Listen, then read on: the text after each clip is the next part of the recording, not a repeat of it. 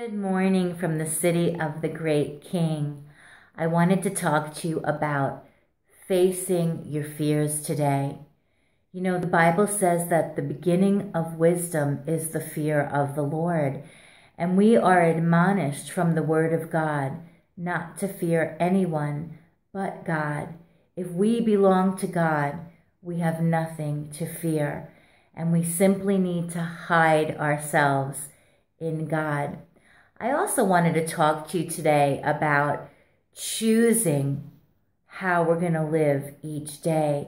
You know, if we just respond to how our flesh feels, we'll never get anything done.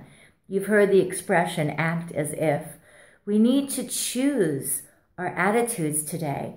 We need to choose how we think, what we think about, and what we choose not to think about.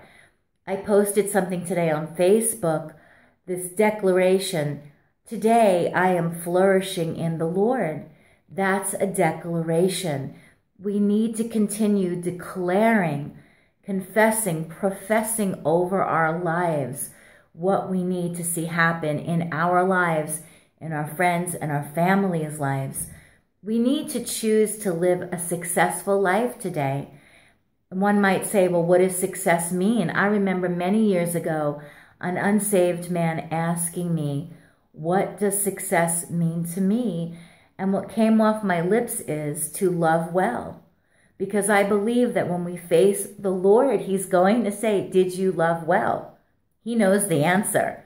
But we need to know, are we loving well?